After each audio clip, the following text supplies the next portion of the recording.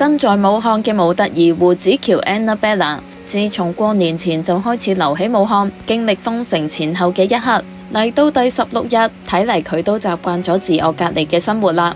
日前仲見到佢哋村放煙花慶祝元宵添。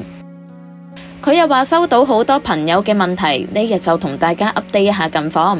首先糧食方面呢，佢話都算充足㗎。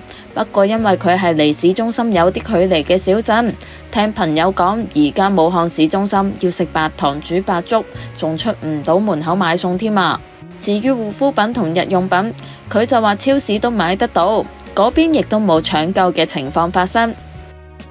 而大家最關心嘅問題，到底佢幾時返香港呢？